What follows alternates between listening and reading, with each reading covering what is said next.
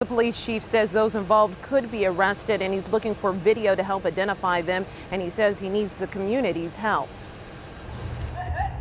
On Tuesday afternoon, police were seen driving around 6th and Swatara streets, the area the chief says the mini riot occurred. Police say after Friday night's football game, the dispute between teenagers within and outside the district grew to around 100 people. He says at one point it turned towards police. A officer's car window was busted. Very scary, yes. Marilyn Jacobs lives next to where it all happened. Though she did not see anything, she says someone could have been hurt. Police say this Friday there will be extra security at the game to make sure that doesn't happen. I think that would be a good idea, honestly.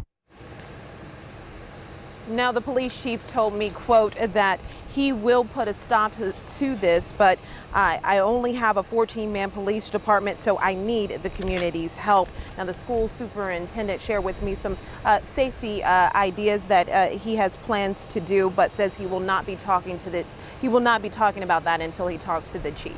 Reporting in Steelton, Portia Johnson, News 8.